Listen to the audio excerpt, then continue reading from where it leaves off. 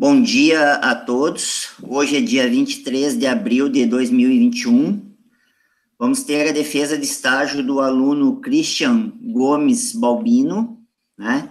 Agradeço a presença do professor Luiz Fernando, que vai participar como banca, e também a presença da coordenação de extensão do Campo Santa Rosa do Sul, né? Na, na presença da, da Lidiane. Então, tu pode iniciar a tua apresentação, tá, Christian? Vou deixar o microfone e a câmera desligado para não, não ter interferência, porque a internet sabe como é que é. E depois, no final da apresentação, o professor Luiz Fernando faz as considerações. Feito, índio velho. Boa sorte. E tá contigo.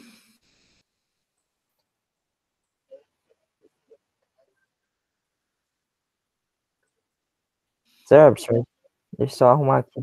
Tranquilo, tranquilo, vai arrumando, compartilha a apresentação, quando aparecer eu vou dizer ok, aí tu pode começar. Certo.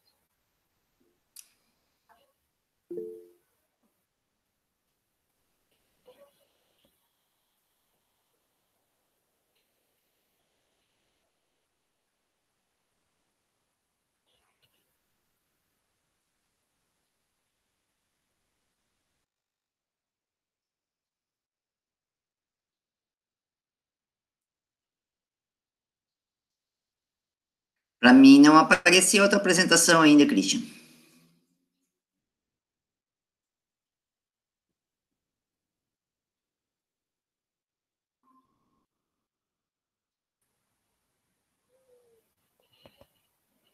Parece que tu caiu, né? Tu voltou agora para a página. Tu tem que tu tem que ir lá na tela, apresentar agora, como tu fez antes. Uhum. Agora aqui, ó. Certo uma janela, tu Posso tem que com teu... Pode, isso, pode, bem tranquilo.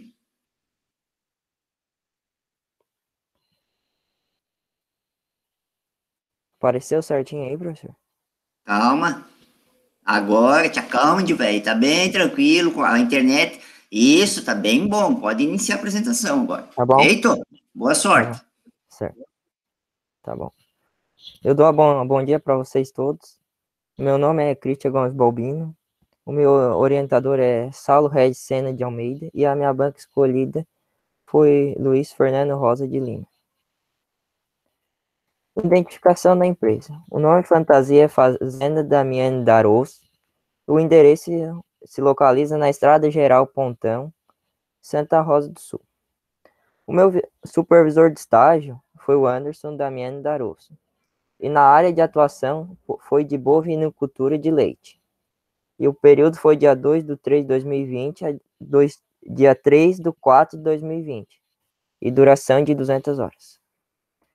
O objetivo geral é desenvolver hábitos e atitudes profissionais, tais como exer, exercitar, a, aplicar conhecimentos técnicos e teóricos adquiridos em sala de aula durante, durante toda a realização do curso Objetivo específico: buscar aperfeiçoamento com fundamentos teóricos de técnicas que não que são usadas atualmente na bovinicultura, tendo conhecimentos gerais sobre o gado leiteiro.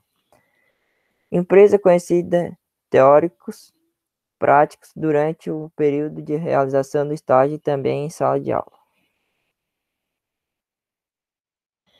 Então, tudo se iniciou que o senhor Anderson começou a estudar no IFC da Santa Rosa.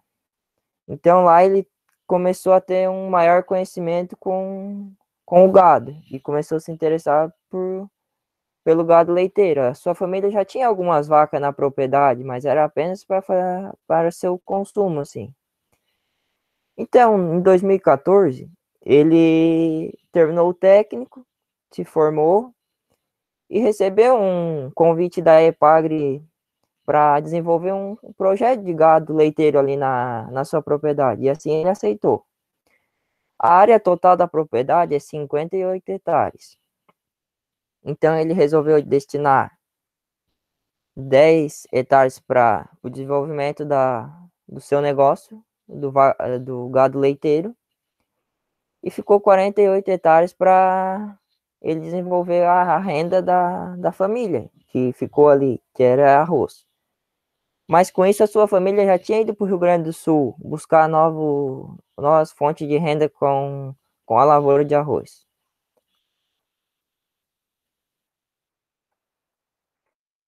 Então as pastagens que tem no, na propriedade. Eu, na propriedade dele, eu conhecia o Tifto 85, onde que é uma pastagem que é uma graminha perene de, de verão. Ele tem um, um alto valor de, de forragem, dá uma boa, é uma boa forrageira. E, o, e ali na foto aparece algumas terneiras pastoreando o, o. E esse o Tifton 85 é o melhoramento do Tifton do do gênero Sinodon.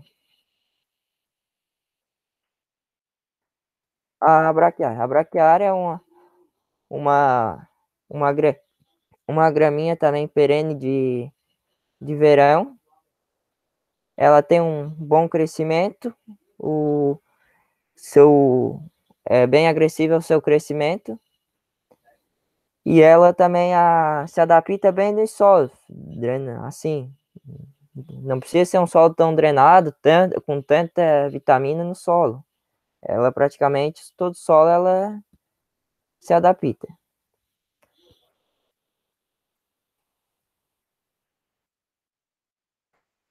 O capinilo. O capinilo é um, uma, uma graminha uma graminha que, que apresenta um bom desenvolvimento também, só que ele precisa de um valor maior de nitrogênio. Se, se fazer uma aduba, adubação nitrogenada, ele se desenvolve melhor, mas é uma ótima pastagem também. Só não é, não, não tem um tanto ganho de, de forragem.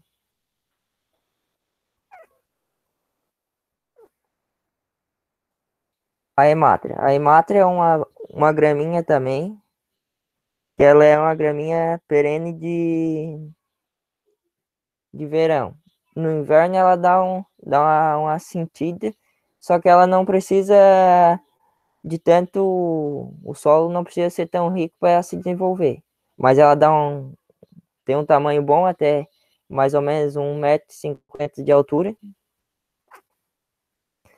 E vale lembrar que o, que o Anderson usa o sistema de, de rotação. Então ele dividiu uma, uma área de que ele desenvolveu a pastagem, ele dividiu tudo em piquetes. Então ele se a pastagem está num tamanho bom, ele pode, ele deixa o gado, vamos supor, um dia todo, ou uma manhã, depende se o dia também está quente. Então, depois naquele piquete, ela só vai, só vai voltar quando der o ciclo, para voltar para aquele piquete ali novamente. E na propriedade tem tem 91 piquetes, aproximadamente tem tem de uns 30 piquetes de cada pastagem. E o sistema de ele também usa o sistema intensivo, que é complementar a alimentação do gado no coxo. Atividade desenvolvida. A produção, eu tive a oportunidade na, no meu estado de acompanhar a produção de silagem. Lá no Anderson, foi, no senhor Anderson, foi feita a produção de silagem da, da seguinte forma. Veio a ensiladeira e foi feita com a planta inteira. Da ensiladeira, cortava o, o pé todo do milho em partícula de 0,5 a 2 centímetros o tamanho da partícula. O transporte foi feito da, da lavoura até a propriedade do Anderson, com tratores e, e carretas acopladas. Chegando lá, a gente distribuía uniformemente a, a, a camada da silagem entre 30 e 50 centímetros de camada. E a gente ia fazendo essas camadas e depois ia so, socando a silagem com o trator, compactando a silagem para ela para ajudar a não entrar ar. E o silo usado no Anderson, eu tive a oportunidade de conhecer lá no Anderson o silo de superfície, ou seja, fazendo essas camadas, depois era só tampar a lona. A lona usada lá é uma lona grossa, especial para para tampar o tampar a silagem.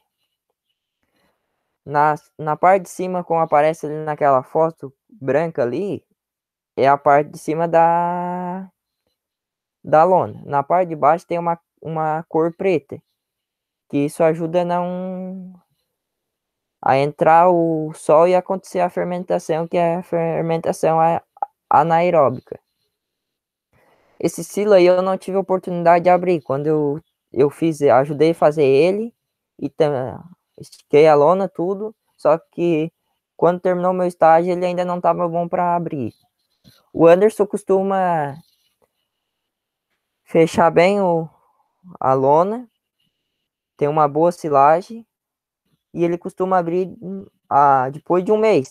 Então, da, de um mês do que a gente fechou o silo, depois ele já ia abrir aquele silo. Mas quando eu cheguei lá e já tinha o silo aberto, a gente costumava tirar todo dia um certo tanto de camada, entre 15 centímetros de, de silagem, que é o ideal. A silagem a gente também cuidava lá. Se tiver, se ocorresse, a, a, se eu chegasse na pilha de silagem e abrisse ela e tivesse algum bolouro, sim, partículas brancas na silagem, significava que tinha dado alguma coisa errada, que tinha acontecido de entrar ar na quando foi compactado e foi fechado o silo. Então a gente pegava e separava num, num, no lado e não levava para fornecer pro gado no coxo.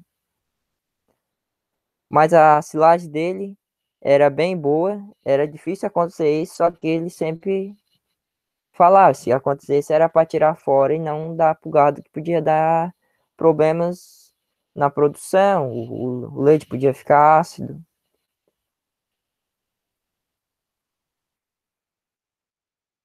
Lá eu também tive oportunidade de, de, fazer a prática de amochamento seria queimar os botões cornos. Eu, eu fiz lá foi apenas o a fogo. Aquele ali é o amochador e ali é uma terneira que a gente fez amochamento.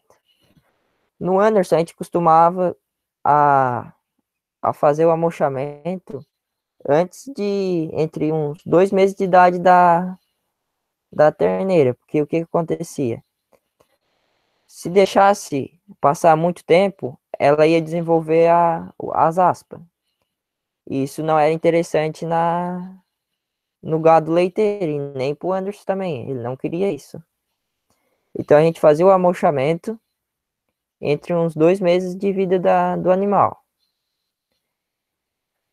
Uma vantagem do a vantagem do amochamento era que o o gado ia diminuir o espaço onde ele recebia no, no coxo ali, ele ia diminuir, porque ele não teria o espaço da, das aspas, então facilitaria o manejo do gado e também um, deixaria o gado mais dócil, não.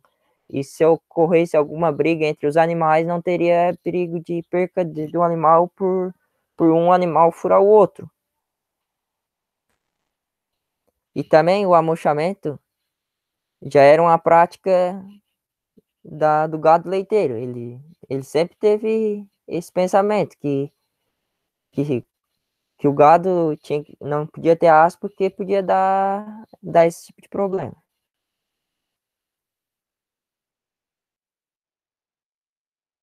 Lá eu também tive a oportunidade de, de fazer a, uma insemina, participar de uma inseminação artificial. No Anderson, ele, ele gostava da inseminação artificial por seguintes fatores. Ele tinha um maior controle do seu rebanho. ele não tinha, não tinha investimento em, em reprodutores, porque ele não teria o controle de, de como a propriedade interessante seria só terneiras, ele não teria esse controle com o reprodutor. Então ele sempre optava por, por semi, e sempre, a maioria é tudo sexado, que daí ele teria o controle que seria terneira. Isso seria a fonte rendável dele. Só que às vezes acontecia de o sêmen não ser sexado e vir terneiro. Então ele, ele não ficava com os terneiros, ele despachava, vendia. E lá a gente fazia da seguinte forma. Tinha o, ele, o Anderson mesmo inseminava, ele mesmo que fazia essa prática. Ele tinha o bujão, tinha o curso, e eu participei de ver essa prática dele.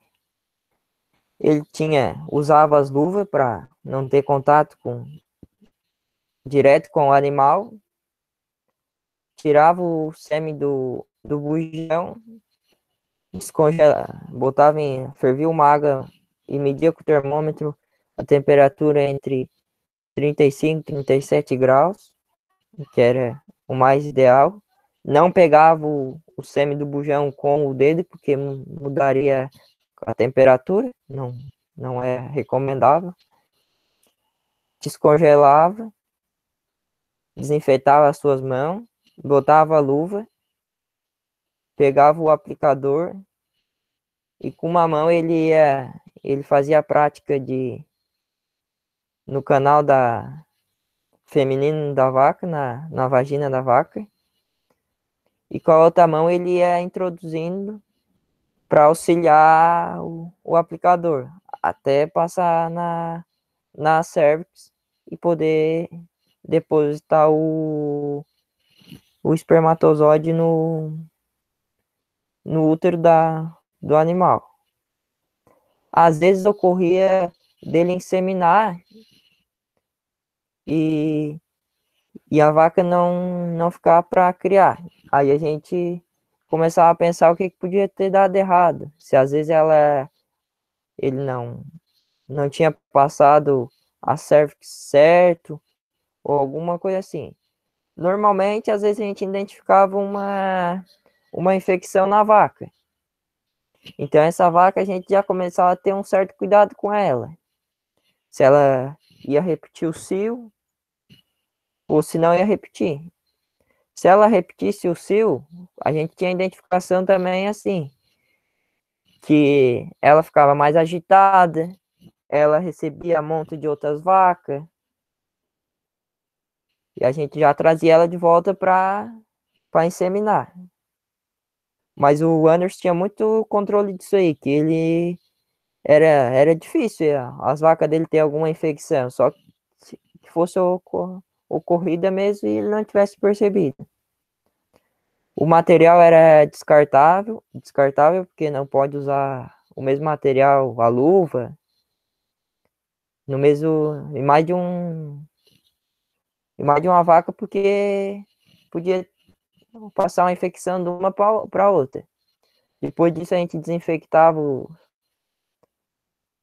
a, o aplicador, a, a pinça que, é da, que a gente pega dentro do, do reservatório de semi, desinfectava tudo e guardava novamente.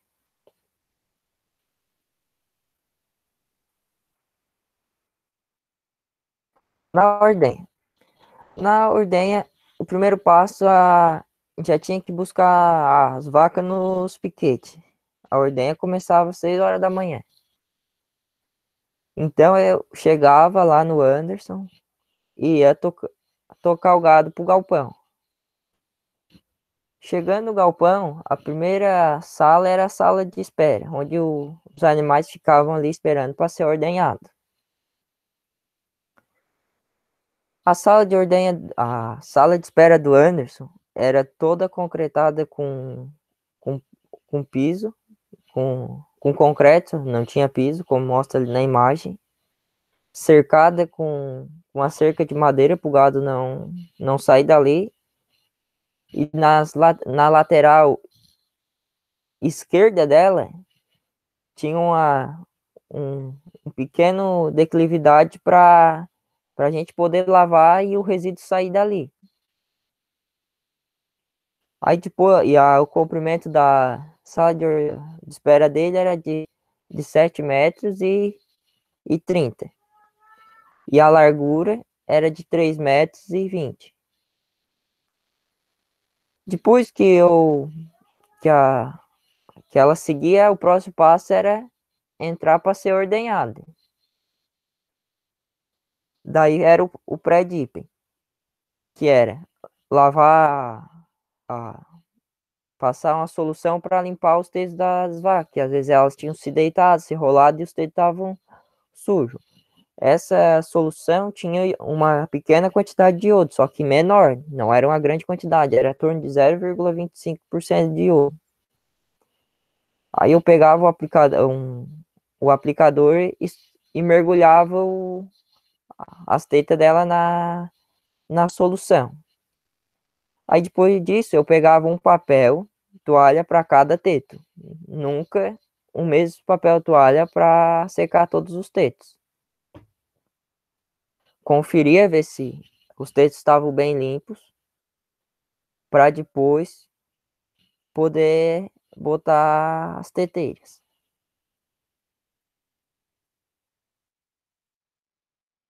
Eu mostro um, um pouco da, da, minha, da minha prática. Eu conferia, depois se os textos estivessem limpos, eu conferia se ele já podia ser botado a ordenha. Conferia as teteiras também, se ela estivesse limpa, eu botava. Se não tivesse limpa, eu pegava um papel, limpava, para não ter perigo de, de entrar sujeira pro, pro canal do leite, ali no canal do Uber. Assim eu colocava as teteiras. A ordenha do Anderson lá é espinha de peixe. Ela comportava. Tinha quatro, ordenhas só que ela comportava quatro animais de um lado e quatro do outro. Aí, por enquanto que, eu, que um lado estava sendo ordenhado, o outro estava sendo preparado, limpando o teto, conferindo, ver se estava com o teto limpo. E aí, colocar, quando terminar de ordenhar um lado, passava as, as teteiras para o outro lado. O sistema dele lá, como eu já falei, é mecânico. Ele tinha um controle de produção de leite, de um controle da quantidade do leite. Tudo aparecia naquele painel ali do que aparece na foto ali, um painel de cor azul.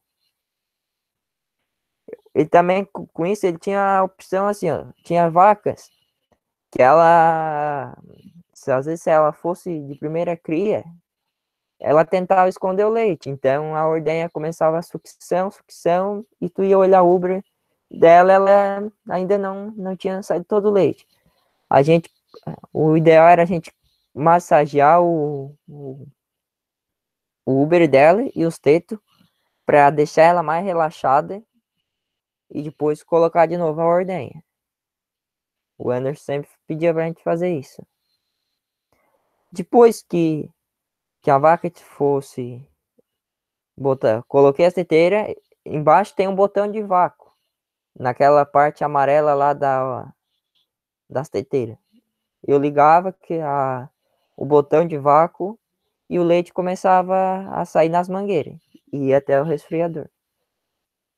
Depois que eu terminasse a ordenha de um lado da de um lado que tivesse sendo ordenhado, eu pe eu pegava o pós-dippen e passava. O pós-dippen fechar, como o leite estava saindo, o canal estava aberto.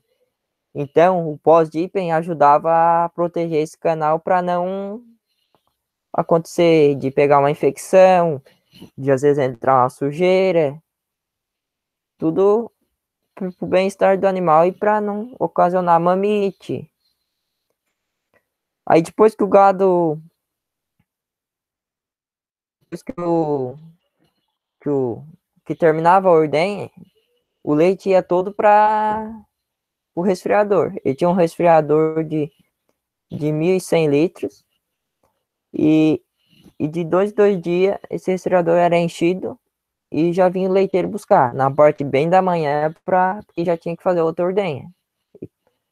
E a temperatura era em média de 4 graus pro positivo, para o leite não estragar. Assim que o, que o leiteiro vinha, a gente pegava um detergente neutro, que não tem cheiro, passava em todo o resfriador, limpava, passava água, conferia ver se tinha ficado bem limpo, e isso fechava o resfriador de volta e deixava tampadinho.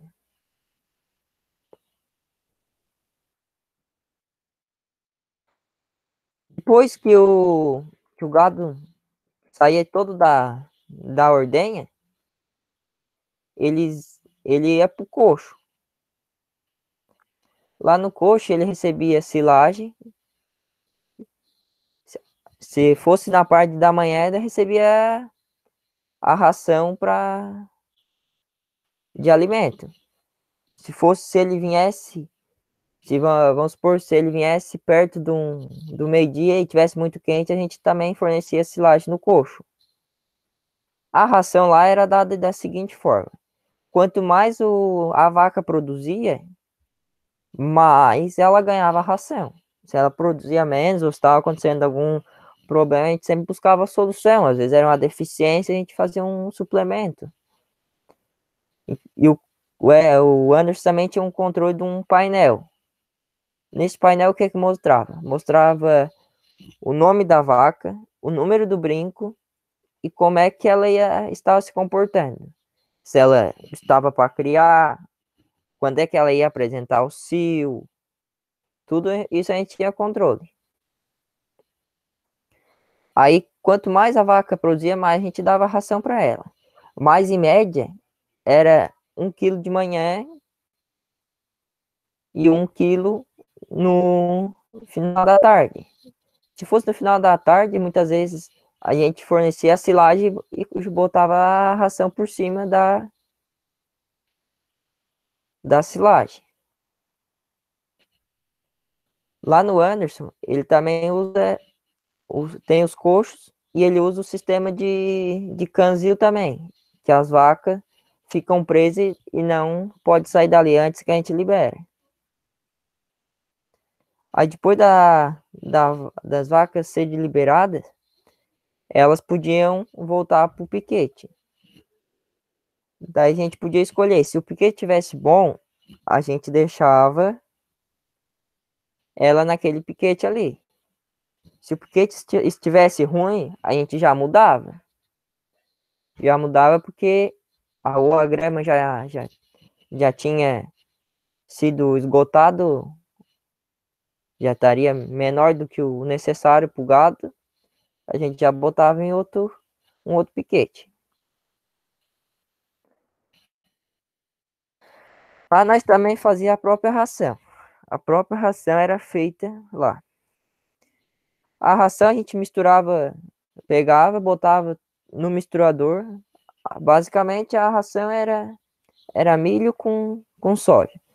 Só que como era 500 quilos que suportava o, o misturador, a gente não tinha como fazer 500 quilos, tipo, ficar mexendo. Então, o Anderson resolveu adquirir um misturador. A gente botava a, a mistura lá dentro e ele deixava aproximadamente 40 a 50 minutos, às vezes uma hora, dependendo, para misturar bem. E lá o Anderson também guardava no, na sala de ração guarda, guardavam sal mineral, que era fornecido junto com a alimentação da manhã e a alimentação da tarde, que era para ajudar que o gado não tivesse deficiência, deficiência mineral no caso. Se acontecesse a gente perceber que uma vaca tivesse com algum problema de alimentação, a gente procurava a suplementar ela com outro tipo de ração. E que essa ração não era produzida na propriedade, essa ração era comprada. E assim a gente fazia. No galpão a gente também guardava ferramentas da propriedade e também guardava quando era produzido a gente fazia o feno, a gente cortava o, o tifto também fazia feno também. O, o tifto era usado para fazer feno também. A gente também guardava aí no galpão também, para ir dando pro, pro gado.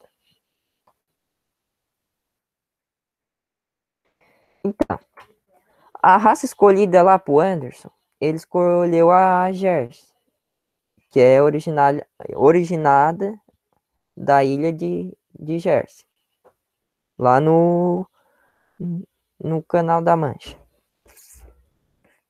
E também foi escolhida também a, a raça holandesa, pois ela tem uma ela é de grande porte e a Jersey de pequeno porte.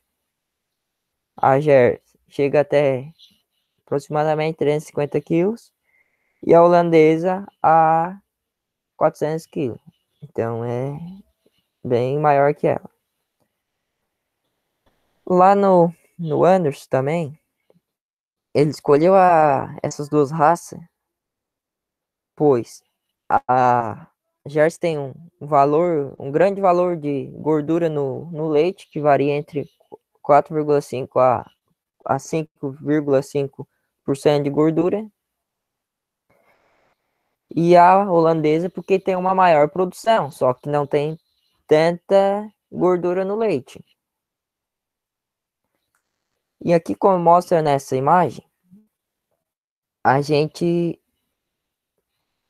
tinha casinhas para as terneiras e para as novilhas. Ah, se nascesse uma terneira, ela nem tinha mais contato com a mãe, já era tirado e levado para uma casinha dessas daí. Ali ela ia receber alimentação, que era 2 litros de leite por de manhã e 2 litros de leite à tarde a gente começava a fornecer ali de um, de um mês, até 15 dias antes, a gente começava uma pequena porção na para ela começar a desenvolver o libido para comer a ração. A gente até tentava também fornecer o, o mais rápido possível, assim que a gente via que ela começasse a querer gramear, começar a botar feno para ela. A gente ia vendo se ela ia se adequar mais rápido com o feno ou se ia demorar mais. Aí é, ela recebia esse leite e dormia naquelas casinhas lá, se refugiava lá. Já as, as novilhas que já tivessem mais grande, a gente já começava a mudar elas para outros piquetes. Também a gente fazia o pastoreio de, dessas novilhas que tivessem e terneiros estivessem mais perto da casa, numa malha de tifto também.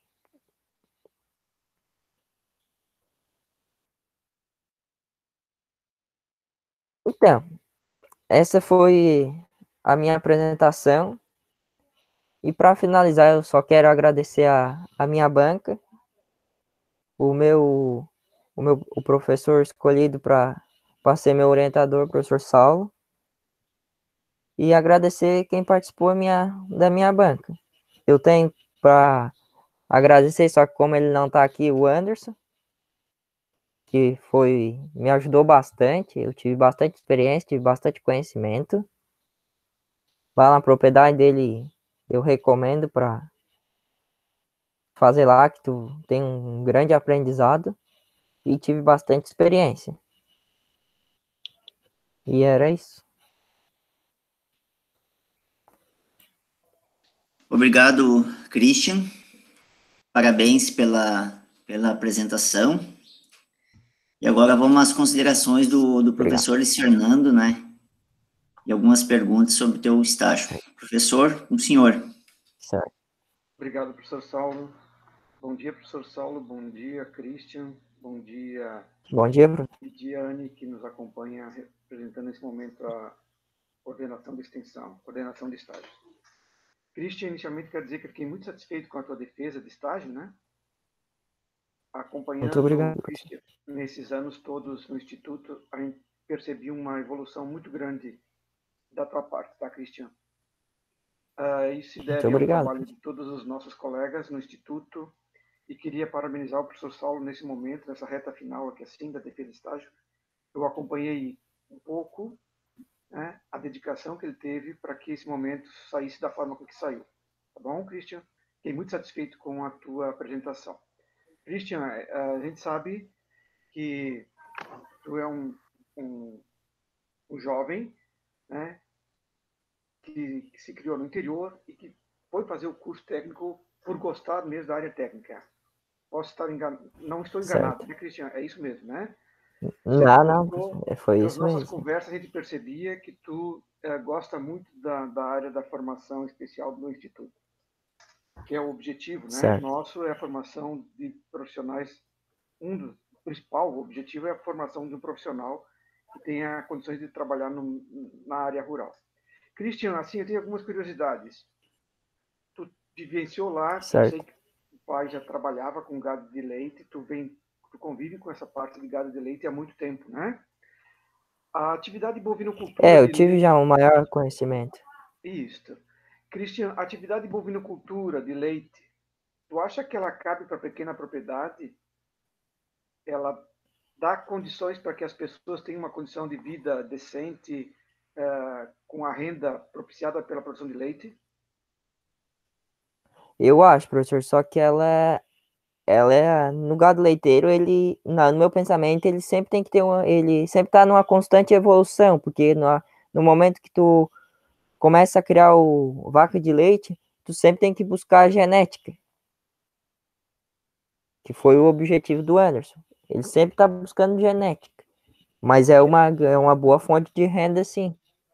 Só genética, Christian? Não, professor, também tem que, que buscar um, um aperfeiçoamento também. Certo.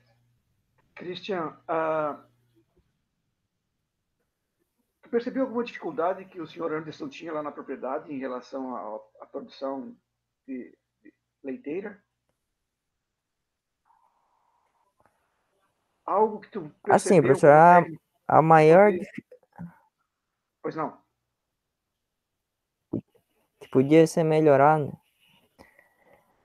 Assim, o, o Anderson tinha, tinha ótimas pastagens. Tinha, ele tinha água no, no potreiro, tudo, no, no piquete, tudo. Só que eu, às vezes, sentia assim que, que o solo dele não era tão bom para um, determinada pastagem, assim. Mas ele tinha um bom controle. Ele, ele usava o esterco dos animais espalhava na, na lavoura dele. Mas a maior dificuldade, sim, que eu, que eu vi lá era que às vezes tinha. A terra não era tão boa assim, professor. Era uma terra mais arenosa. Certo. Christian, tu só falou de gramíneas. O senhor Anderson não tinha nenhuma leguminosa na propriedade, nas pastagens?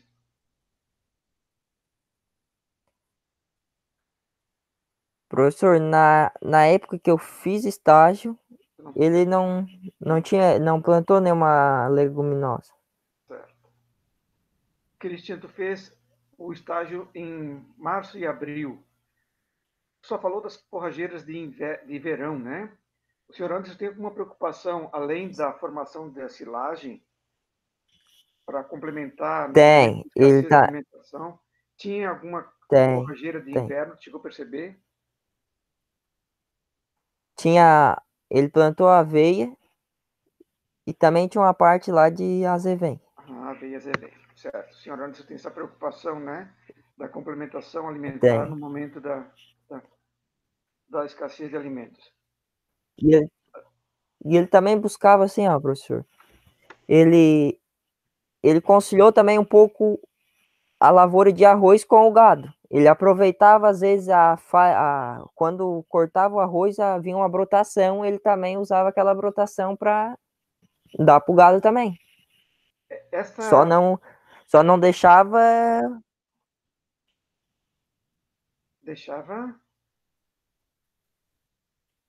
só não deixava o gado, ele piqueteava assim, o, as grandes, não, não deixava o gado numa grande área porque havia desperdício. Certo. Ele limitava, ia fazendo pits da granja. Ok. Uh, Christian, eu, eu estou satisfeito com a tua apresentação, tá? E parabenizo por, pela chegada nesse momento, tá bom? Professor Saulo, eu, da minha parte era isto. Muito obrigado, professor Luiz Fernando. Ô, Christian, vou fazer algumas considerações também que, de repente, tu esqueceu de falar e é importante. Certo. É, como é que era feita a limpeza do conjunto de ordenho lá? Porque tu fez, né? Se tu ordenhou, como é que era o processo lá no Anderson? Após terminou o ordenho?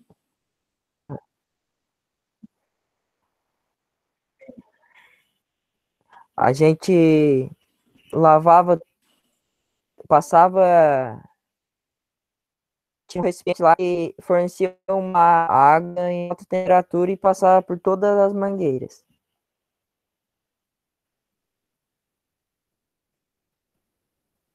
Pá, professor, pior que eu não tô escutando. Não, mas eu tô quieto, é que tu tem que falar. Usava detergente neutro, detergente ácido. Conta como é que era feito. Ah, tá. Água morna, água ah, tá. fria, tá. água quente. Conta como é que é o processo. Ah, Lavava uma vez só, duas, enxágue. Como que era feito? É, era... Eu tô te ouvindo. Ah, tá. Ah, tá. Não. Ah, tá. Entendi a pergunta. Que eu entendi. A, a gente usava um, um deter, detergente Passava uma vez deter, detergente neutro assim, na, nas paredes, que tinha azulejo. Também tinha um detergente mais ácido, que era para matar as bactérias que estivesse por dentro da, da ordenha. E aí depois era passado água em toda a parte onde tinha as, a, as teteiras, ordenhas, tudo era passado água e depois tudo pendurada para secar. Certo. E mamite, não ocorreu mamite quando estava lá, mamite ou mastite?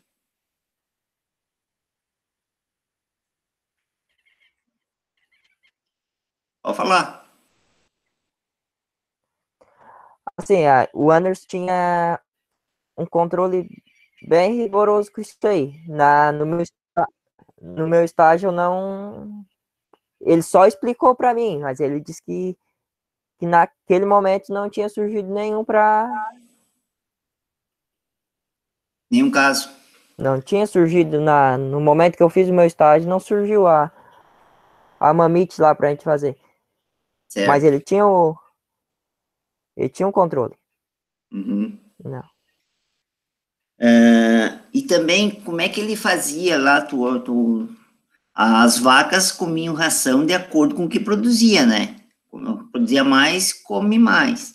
Mas como é que ele sabia qual vaca produzia mais ou produzia menos? Certo. Certo. Ah, sim. Isso ele tinha o controle pela, pela ordenha dele, que marcava lá o tanto de leite. Ele fazia anotações. Ele fazia anotações do. Ele pegava uma vaca, olhava lá na ordenha, fazia um controle leiteiro e marcava e depois fazia se a vaca produzisse mais, ela, ele ganhava, ganhava mais ração. Mas todas recebiam uma, um, um início de porcentagem de ração. Todo dia um quilo de manhã, um quilo de tarde. Certo. Feito, índio velho. Mais alguma consideração final para nós finalizar? Mais alguma conclusão, alguma coisa que queira comentar? Hum... Agradecimento. Não, é só isso, só queria. Como eu falei, eu quero agradecer o professor, o professor Luiz Fernando, a Lidiane, que participou da minha defesa. E queria saber como é que eu sei se se eu passei na defesa, minha nota. Te acalma, velho, te acalma. Vamos terminar, vamos passo a passo. Isso. Parabéns pela, pela apresentação, né? Agradeço novamente o professor Luiz Fernando por aceitar a banca. E também a pessoa da, da Lidiane, né, de estar participando da, da, da banca, representando o CEGEX. Não sei se o professor Luiz Fernando deseja fazer mais alguma colocação. É.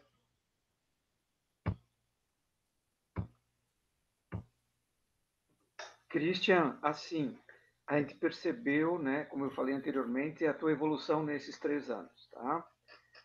Uh, certo procure continuar nessa evolução, tá? Faça um esforço, procure continuar estudando, mesmo que você não, se você for seguir na área agrícola, né?